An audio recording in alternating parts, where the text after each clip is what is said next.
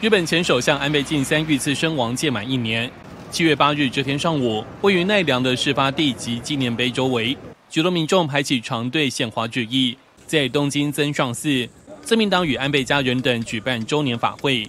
安倍遗孀安倍昭惠在入口一一向与会者鞠躬致意，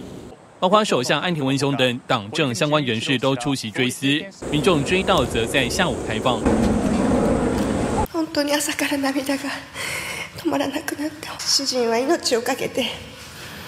この国のために本当に働いてその魂もまたこの国のためにこれからも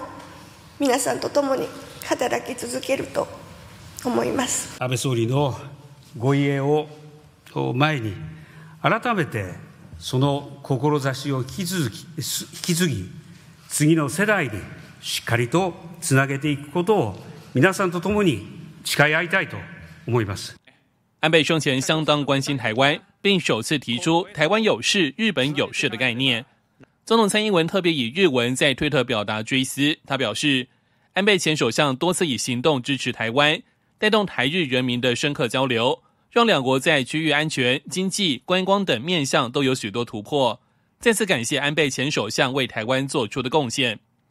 副总统赖清德也发文， 永远不会忘记安倍前首相对台湾的帮助跟支持，未来也会持续深化台日各方面的关系，让台日命运共同体更坚定，为印太的和平与繁荣共同努力。